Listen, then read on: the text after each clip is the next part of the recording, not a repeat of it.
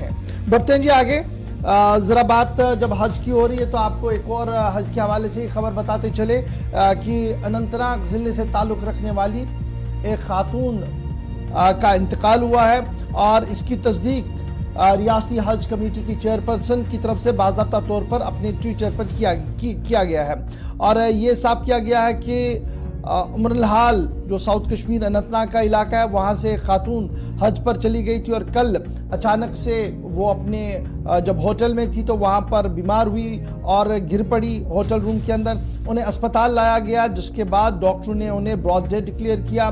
नसीमा इसका नाम बताया गया है, जिसके बाद अस्पताल इंतजामिया ने उनके तमाम तर लवाजमात पूरा करने की यकीन दहानी भी कराई है। इधर इस बात की तस्दीक खुद माइक्रो ब्लॉग ट्विटर पर चेयरपर्सन जम्मू कश्मीर हज कमेटी सफीना बेग की तरफ़ से किया गया और उन्होंने पसमंदगान के साथ जहाँ ताजियत की है, वहीं पर उनकी लाश को वापस लाया जाए। इस सिलसिले में भी जो है वो इंतज़ाम किए जा रहे हैं। ताहम अब देखना होगा कि क्या उन्हें वहाँ पर दफनाया जाए या यहाँ लाया जाए। इस सिलसिले में जो लोकल्स यहाँ उनके अज़ीज़ हैं, उनके साथ भी रबते जो है वो किए जा रहे हैं। तो हज के हवाले से पहली कैजुअलिटी जो है वो सामने आई है। नेचुरल डेथ हुई है होटल रूम के अंदर।